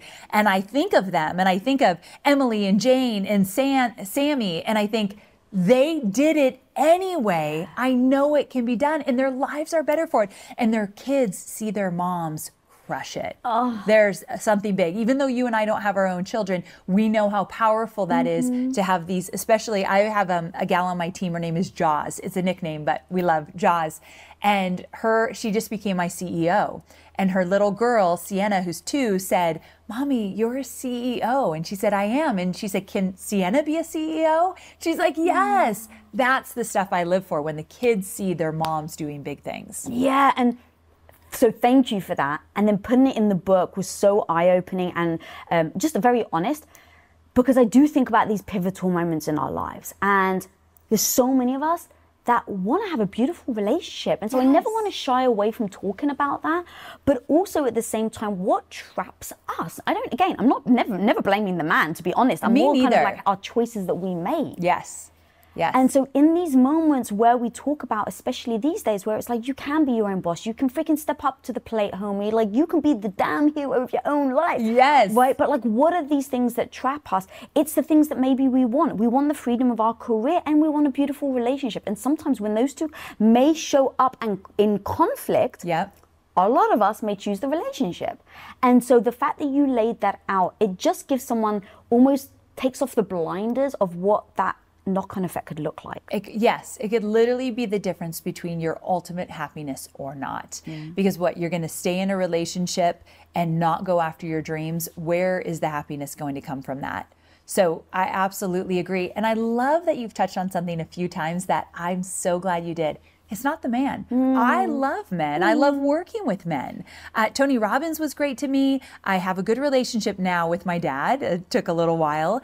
And I've had some other great male bosses. And my business partner that I got out of the partnership with, he was incredibly strategic and smart. The common denominator of all of those was me not being confident in myself, me thinking that he was going to save the day. And I think it came down to I was so afraid of what if it doesn't work. So I was looking to a man to save me because in the back of my mind, I'm like, this isn't going to work. And then what's behind what if this doesn't work is what will people think? So I think if you sum up eh, my whole experience as a corporate girl into entrepreneurship, the biggest fear that has been a through line is what will people think if I fail or if I crash and burn? I still deal with that today, 14 years in. It's in the back of my mind when I try new things and do new things, like even putting this book out there. What if it's not the success that I think it could be? What will people think of me? But here I am. I wrote the book. I'm promoting it. I'm on your show because even if they think, oh my gosh, she's a loser, um, the people that have opinions about your business, but they're not in your business, they're not paying the bills, they don't get an opinion on what you do. So I had to stop letting people have opinions when I don't even know who they are. They're strangers on the internet. So anyway, this whole idea of what will people think comes down to just being so scared that you're not enough. And, and, and I know your show really taps into helping women realize their worth no matter what. Mm-hmm. You exist, you are worthy, period. Fuck yeah, girl. Yeah. Um, how the hell then did you pivot by going? You said earlier, right? I was the person that absolutely was, seeking validation. Oh, always. In the corporate world, to being the person now that can write a book, going, I don't know, it's gonna work, but I'm gonna give it a shot. Yes. Like this is the juice right here, girl. Yes. What are the, the key things that people that you've adopted to allow yourself to go from that to where you are now? Okay, the biggest thing was taking action, it not working, and getting back up. That is the only reason I have so much confidence in what I do. I believe I can do anything. I believe I can figure anything out in my business. That's a very big statement to say from a girl that was terrified to go out on her own, uh, hated getting on video. I in the early years, I never got on video. It was terrifying. Cared deeply about what everybody thinks. But what I did is I got very clear on my why. Remember, I didn't want a boss. I wanted lifestyle freedom more than anything. And so every time I did something and it didn't work. Like one of my first launches, like when I started my own business, I made $267. I thought I was going to make a hundred thousand bucks. Oh, so yeah, I literally thought it was going to be a hundred thousand dollar launch. It was 267 bucks. It was a huge failure. And so I had all the emotions, all the fears. What if I have to go grovel back for my job? I went through all of it for about a week. And then luckily my sweet husband's like, we got to get this together. You need to shower. You need to pull yourself together. This isn't a good look for you. And so it was getting back up. And the next launch I did, I think I made $10,000. It wasn't like millions or anything, but it's, it's proving to yourself that you can get back up when you get knocked down is the only way I know to find confidence. It literally, that has been it for me. And I know for much of your story as well, like crashing and burning and getting back up. Like literally, if people could honestly really hear that, go. When people say, "What is your superpower?" I Yeah. say, "It's getting back up." I love I that. fail all the time. Yes. I mess up. I'm incompetent most of the time. I'm Same. insecure. I'm like so. When you think about all of these things, and yet I still have achieved what I've achieved. The truth is, is that when I get punched in the face, I heal the wound, and then I mean, obviously Yes. metaphorically, and I just go, okay, make sure next time you look out for that right hook. Yes, like let's not do that again. And you might feel embarrassed. You might feel like so frustrated. Uh, Feelings aren't going to kill you. And that's another thing. You just got to feel it and then just be like, what's next? And I always say, what's next is better. So when a door gets closed for me, when something doesn't work out, I've 2021 was a year in business that I did not like. I left and right things were not working out for me. And i in my mind i kept saying what's next is better. 2022 was an amazing year because i believed that it was coming. I really did know that. So i think it's so important that i love that's your superpower. I get back up. You cannot lose. You cannot lose with that superpower. Yeah. and anyone can harness a superpower like that. And and there's the element of when I tell myself I'm not good enough, I don't hold my identity to it. Right? I hold my identity to being the person that gets back up. So every time I fail, if someone was to, which used to be the fear, right? Everyone would mock me. Yes. That would be the fear, like, oh, see, I told you you wouldn't be able to do it. Or the people you knew in the past at your like old job, especially having Quest under my belt. Mm. So like going from Quest now being in front of the camera, it's like, well, what if, what if I tank? What if I don't do well? And that narrative is precisely the thing that can end up holding ourselves back. But if I go, well, I fail. But did you learn from it? Yes, amazing. Now I don't, I keep leaning into trying the things. Um, and this validation piece, like you were saying, being able to say, I was the person that used to absolutely pride myself on being the person that was getting the pat on the back. And now you saying where you are now in approaching your book with fear, I think is beautiful because I, people need to hear that. Oh, and when you need that moment of jolt forward, if you're scared, if you're worried, what if I fail, being able to say, well, Amy tried it with her book. So if Amy tried it, you even said it earlier, right? If someone else can do it, then so can I. Amen. Look for proof everywhere. There is proof that you can fail. There's proof that you can succeed. It is everywhere, whatever you want it to look like. Yeah. So I'm just constantly looking at, like, oh, she did it. Okay, I can do it. Oh, look what I did. I took this baby step. I could take a bigger step. Look for the proof. Yeah, I love that. And then one other thing that literally made me laugh out loud in your book was when you said, You're not for everyone, boo. Oh, geez. This was a hard lesson for me to learn. So, when I first started to put myself out there, it was very vanilla. I wouldn't really put a stake in the ground either way. And then I realized I'm going to get lost in the sea of online craziness, mm. right? I've got to be known for something. I've got to put my opinions out there. So, I started to be more vocal. And then there's this one guy online that he's like, You are wrong about that marketing strategy or something. And then other people chimed in. And I thought, Oh my gosh, I'm going down. I think it was three people. But in my oh mind, three million people came after it me. sounds like there's like hundreds of thousands of know. People. I think it was three people. And so I called up my good friend Jasmine and I said, Oh my gosh, I'm getting attacked online. I'm so nervous. Should I delete the comments? What do I do? Which you never delete the comments. And I've learned that.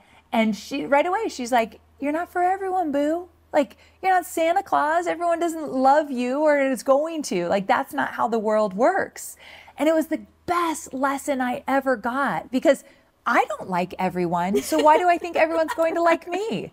But I had to learn that early on because when you try to please everyone and no matter what you're doing, you will literally water down your message so much that you won't even recognize yourself. Yeah.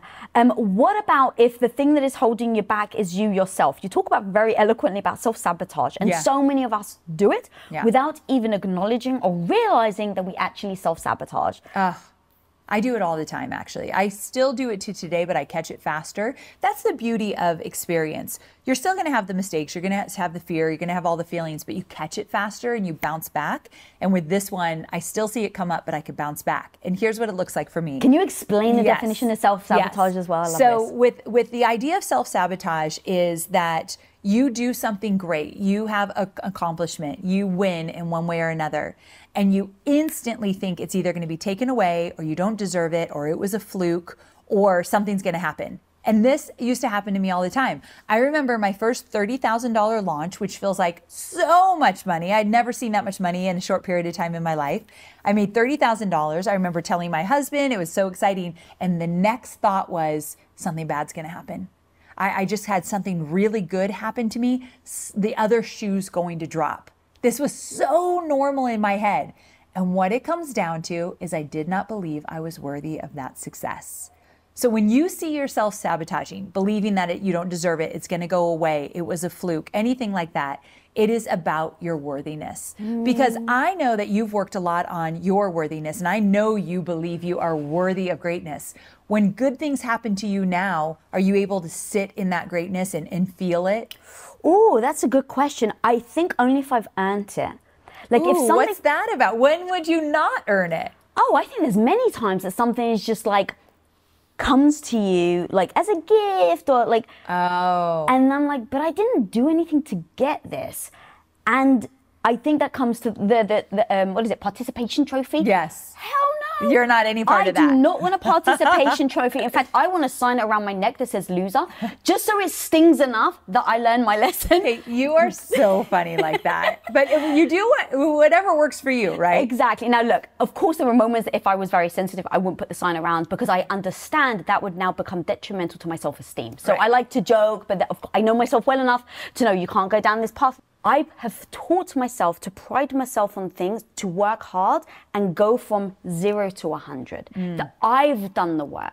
And I think that helps me so that I don't expect great things. Just because I've had one success oh. doesn't mean that I deserve another success. Have I worked for it? And so part of me is I have to look at if I've earned it or not. And that's a big thing for me. Okay. Okay, so that makes sense. This this idea that if you've earned it, then you're going to feel really good in it. And I can get behind that Yeah, absolutely. yeah.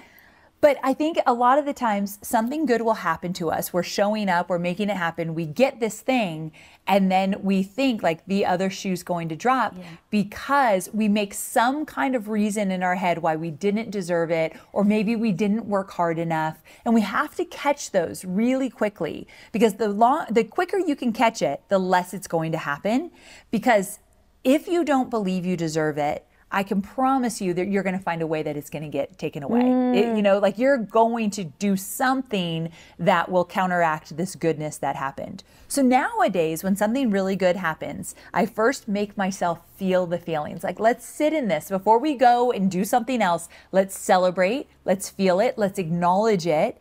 And then let's look at how I got here to prove to myself, oh no, I deserve every single bit of this. Let's do more. I have a good friend that always says to the universe, more, please. And I love that. It's like instead of thinking you're going to get it taken away, she's like, no, I, I, I receive that and I would like more of that, please. Mm. I would like to be doing more of that. Oh God, that's a really great way of people to approach things in these moments. As you were talking, I was like, what is it about us? If we achieve something great, we're like, must have been a fluke. It Yeah. was given to me. But when something crappy happens, we go, see, I knew oh. I was no good. So true. What the hell is that about? I know, and I think that's with more women than men. Yes, like agreed. when I'm around guys and they do a good job, they take all the credit for it. They're like, "Yes, and I hung the moon." Like if I could have an ounce of that, right? Like they're really good at just owning it. Most men are. With women, you're right. It's like, oh, that was a fluke, or this might get taken away, and then hitting on. But when something bad happens, I could beat myself up for that for for weeks around it. And that's another thing about playing small. You you beat yourself mm. up, you you go down this rabbit hole, you're not good enough. Look, you always mess it up, whatever it is. I have to catch that really fast as well. Mm. So when I see the spiral, I'm like, no, no, no, that didn't work. Let's go for something else. I have a good friend who says every decision she makes, she does not classify it as good or bad. She doesn't mm-hmm. put those labels on it. She said, I made a decision And based on that decision, I made another decision whether to keep going or go a different route. Mm-hmm. And I love taking the stigma out of am I good? Am I bad? No, I'm just making decisions because that's what I need to do. And then you can learn from those decisions. Yeah. But if you say you're bad, then you start to feel a certain way. Exactly. So let's stop putting uh, labels on the decisions we're making. As uh, anyone who wants to be an entrepreneur, you have to make decisions every single day. So let's just say we're making decisions. We're taking that label off, and depending on where that leads us, we're making a new decision. Done. I love that. One of the things that I've also used in these moments that I realize is when things are really bad, it feels like it's going to be like that forever. Forever. And I think that that's the point of when something good happens, we know it won't last. Yes. And so we have this like thing where um, it almost comes into conflict. The thing that we really love, we're so fearful that we don't get to enjoy it because we know it's going to be, uh, you know, momentary. And the things we freaking hate, we somehow convince ourselves it's going to be like that forever. Right. And so the thing that you know, the the wise old saying, "This too shall pass." I use it for great things as well. Ooh. And it isn't to make me feel bad. It is to remind myself that I I shouldn't expect to live here always. Why do I think that when I succeed, when I have these great moments, that that should be my baseline? It's true. It, I, I love that you bring this up. It's not always good. It's not always going to be there. So if you're able to be in the suck as well as the good times, if you're able to just to be present, again, you cannot lose. That is mm-hmm. playing the game. That is playing big when you're just here for it all. Mm-hmm. So I love that. I never thought about thinking like when it's really good, like this too shall pass. It feels kind of sad, but it's the reality. Yeah, and that's the funny thing. When I first thought about it, I was like, oh, that's kind of sad. And I was like, actually, it's not. I have now lent into the idea that this is so beautiful and they're not always going to come around. And so just enjoy it right now because it's going to pass. Yes. Instead of worrying, oh my God, this isn't going to last, I almost go, this isn't going to last. Yes, uh, I know it now, so I'm just going to be very present when it does. I think, you know, when I wrote Two Weeks Notice, the, the number one goal was to help women realize that there literally is another way out there if they want it. Mm-hmm. And so when we get to talk about these really important mindset shifts, they literally help women see wait a second, there's another way for me to do life if I want it. Mm-hmm. If I'm stuck, if I'm frustrated, if I'm not loving where I'm at right now, there is an absolutely different way to do it. I didn't know that for so long. When I was in my nine to five job, until I tell this story at the very beginning of the book, there was like one fateful meeting that changed my life. Without that meeting, I didn't know there was a whole other life where I got to call the shots. And so when I think about uh, who I want to serve, it's these women that might not know, oh my gosh, come on in. Like, let us show you that you could literally create a life by your own design. You, every woman has that capacity. Do you mind sharing that story? Because I think it's super powerful. Okay, so here's what happened. So I was working for Tony Robbins almost seven years as a director of content development. That means like I got to travel the world with Tony and the team and work on this amazing content at his events. So I had a really good job, I got paid well, and I got to do cool things. And then one day I was called into a meeting in San Diego, and it was this big oak table, and all these internet marketers, like uh, business owners, were there all men. And they were in all different walks of life, from relationships to investing to real estate, so many different niches. I was called to the meeting to take notes. So I was sitting at a side table. Yeah, very humbling. I was sitting at a side table taking notes. And Tony, what I love about him is he does his research and he learns from people that are doing amazing things. So he said, All right, guys, tell me about your businesses. Let me know how you're doing this online marketing thing because he wanted to do more of it. Mm-hmm. And so they went around the table and all I heard was freedom. They got to pick their kids up from school at a certain time. They went on wonderful vacations. They called the shots. They had creative freedom, financial freedom. And I just thought, I don't know what these guys are doing, but I have never had freedom like that in my life. And it was that one moment. I never thought about being an entrepreneur. I never thought about having my own business. And and what's so crazy is not one woman was represented at that table at the time. Now I think if Tony did it again, there'd be badass women. But many, many years ago, not many women were doing what we're doing today. Mm-hmm. And so I thought, I don't see myself at this table, but something inside me tells me there's a different world. And that was my first introduction that there literally is a different life I can create. And that's when I became passionate about helping other women. That's literally why, why I wrote the book. I love Yeah. this story so much because you had actually said it right at the beginning of the interview where you're like, see someone that's doing it that gives you the encouragement. But when you don't see it, it takes, I'm just going to be crude a little, it takes freaking balls. Yeah. It really does. It does. And then I think about women of color where, uh, you know, men make more money than women in, in the nine to five world. White women make more money than women of color. Women of color make less money, so they're not even seeing themselves in some of the women. Like, it's really important that we see ourselves in other people. And so if if this book gets more women, uh, uh, women of all walks of life into entrepreneurship, I want that so bad so these young women can see themselves in so many different ways. So it makes a huge difference. Hells yeah, because your book is so beautifully tactical on how to build your business, what Yeah. to look at, how to hold yourself accountable.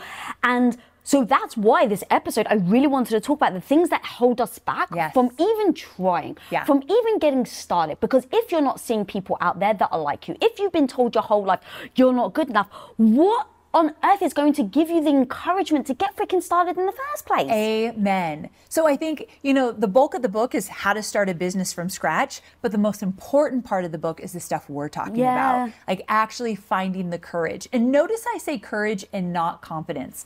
I believe that courage comes way before confidence ever comes. And a lot of women aren't starting something new because they said, I, I'm not confident enough. Mm. No one has confidence in the beginning. Confidence is, oh, I have a track record, so I have proof that this is going to work. Mm-hmm. Courage is, I have no idea, but I want it bad enough.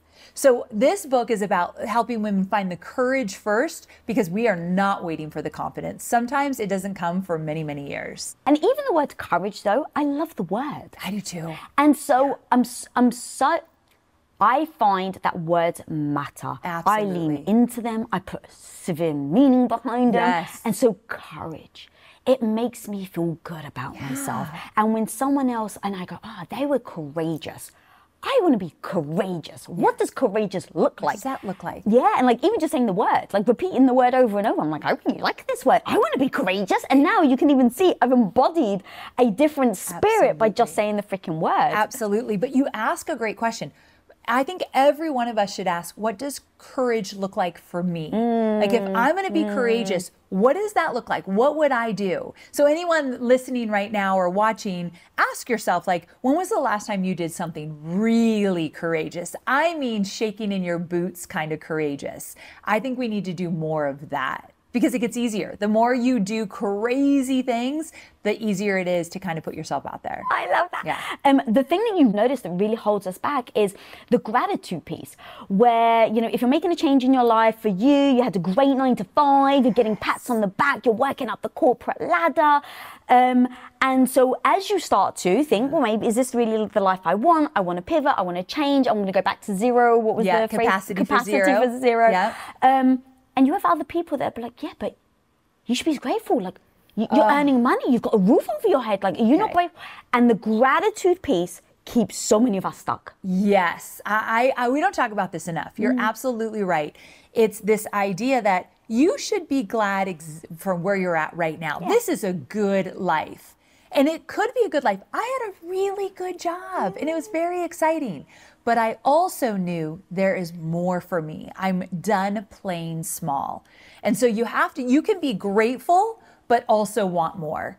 You can be grateful and say, I'm so glad this happened in my life. This was a beautiful chapter. Like my my 9 to 5 was a beautiful chapter and I don't live there anymore. Mm-hmm. I'm not going to be there. So you can have the best of both worlds. But just being grateful for something doesn't mean you have to stay there. Yeah, it it's become like I call it like, almost like toxic gratitude now. Very much so. because Yes. it really does make you feel bad about asking for more.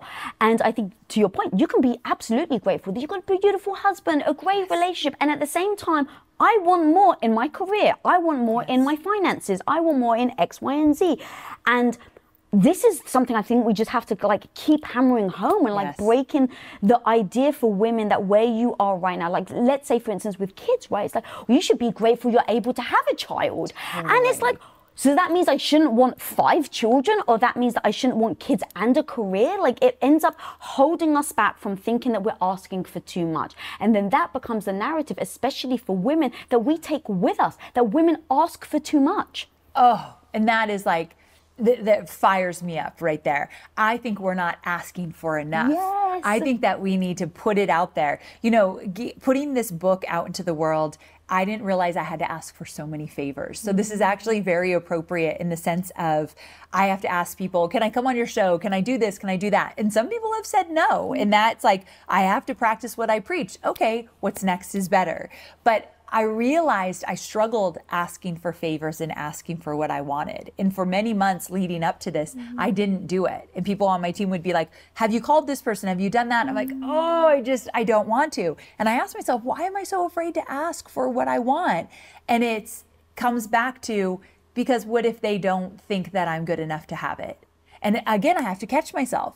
So I think it's important to have these conversations to say, you and I have been in the game for a long time. We still deal with the stuff that we dealt with on day one of being an entrepreneur. We just can navigate it in such a different way now. It just comes with time and experience. So stop beating yourself up if you don't know how to navigate this in the beginning. Nobody does.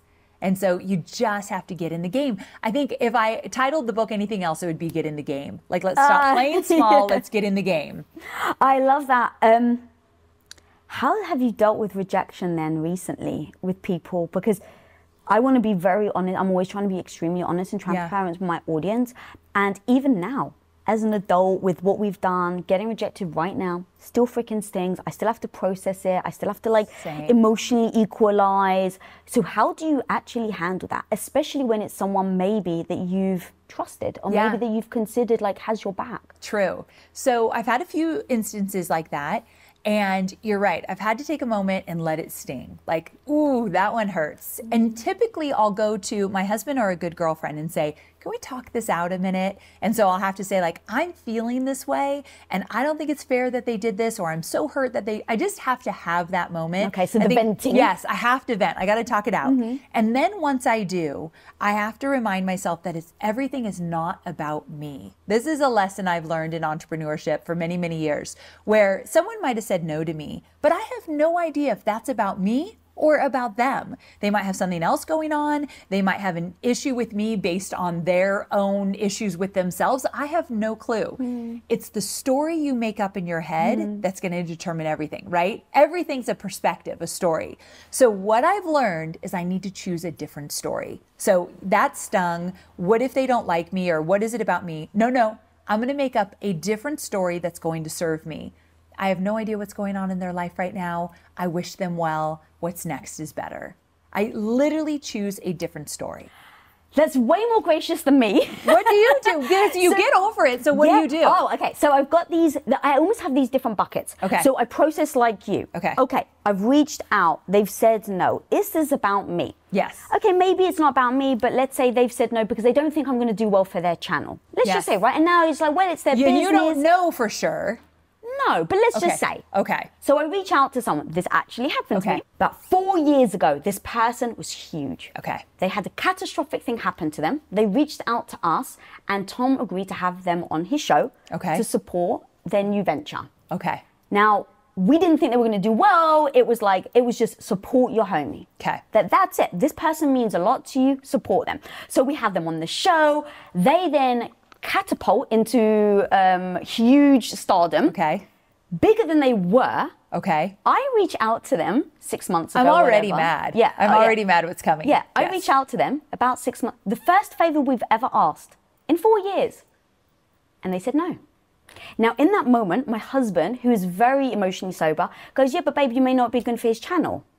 Like for him, that was like no big Oh, deal. Tom was so like, Right? but if you're bad for his channel, why would he have you on? And in that reply, I said, you have your friends' backs. Like I have, and look, that doesn't mean that someone else is bad. You even said earlier, it's not good or bad. It's just a value system. And this is where I had to work through it. I have a value system that says when someone has been there for you, you show up for them. If that means an episode fucking tanks, an episode fucking tanks. Yes. But you, what is your priority? What do you value more? Now, here's the caveat. I understand that this may make me a worse businesswoman. I understand I have to be honest with myself. If I was on their channel and did bad, Yeah. versus not on their channel and not tank their episode from a business standpoint, Okay. I can go. It's better for them from a business standpoint, they don't have me on. But my value system says, even if that was true, if I've if someone's had my back, you show up for them. So now I go, I've got a different value system to I was them. going to say, so it's, you just have a different value system. But now here's the other thing. I'll never do that for them again. And I think You've burnt that's your bridge. okay. You're in my black book. Yes, like I was going to say, you have a different value system, and now you have to decide are you going to separate yourself from that person now? They do not get an opinion, they don't get a vote anymore. Yes. And that's your prerogative. And I think that's a lot of growth right there to say, I'm going to own this. Like they might think something totally different, but this is my value system. Mm-hmm. So I'm going to navigate this way. That I think is really powerful. Yeah. Did it feel good when you finally got to the point that you're like, okay, but screw that. If they ever come back to me, I'm done. Um, Did you get to a place of peace? So yes, until they came back to us. Oh, geez. this has become even more complicated, right? And here's then the difference between me and my husband. My husband, being my business partner, isn't an emotional human when it comes to business. So this opportunity comes. He comes to me. He's like, "What do you think?" I said, "Fuck no, mate." and he's like, "As your business partner, I respect you." But as your business partner, I'm telling you, you're making a wrong business decision. Ooh. And I had to emotionally um, equalize, hear what he said, take it for truth Okay. and yet still be confident in my decision that I'm the type of person that will show up for my friends. And if you don't show up for me, if I ever reach out, I just know who you are. Yes. Okay, so while I was watching you kind of go through that, it was so interesting, all the different aspects. I realized the thing I love about entrepreneurship the most is that we each individually get to call the shots. So sometimes when my business is not going as well as I want and I'm complaining to my husband or I'm frustrated with somebody or whatever, he always teasingly says like you should talk to your boss about that. Meaning like oh, I do get to call the shots. I can work with who I want and I can say no to who I don't mm. want to work with. That does not happen in the nine to five world. You don't always get to choose the relationships and navigate them how you want. You do, though. Like, you can decide never to work with that person again, and no one else gets a say. I mean, Tom does, of course, but if you guys work out that Yeah, together. we have a respect. Very much. If you show that card where you're like, this is this is important to me. Yeah, this is not okay. word we use, yes, and I love that kind of respect and love. Yeah. So again, being an entrepreneur means you call the shots. You create the life and the business that you want on your terms. Mm. There's nothing else like that in this world, I think. I think that's what makes it so special. You call the shots. just like you with your book, right? You even admit that you were scared to write a book. You have that like imposter syndrome, Yep. if you will, that who am I to write a book? If anyone actually gonna like it? But you still got the deal. You still wrote the book. You put it out there without any guarantee. Without any guarantee. And I think it comes down to what matters most to me a, a book that gets all the accolades, or a book that literally, even what if it just changed one woman's life? I mean, I really do believe in the value of one life like that. And so I just have to believe, I know it's going to change many women's mm-hmm. lives. I need to focus more on that than all the ego that could get tied up in this. Yeah. So that's been a really beautiful lesson, hard lesson for me to learn along the way. Join the Bad Bitch Club and master your confidence right now by clicking here. a lot of people stay in quiet desperation because they get talked out of the thing that deep down inside they know to be true. And they're going to think, what's wrong with you? Like, aren't you grateful enough? Why would you leave? So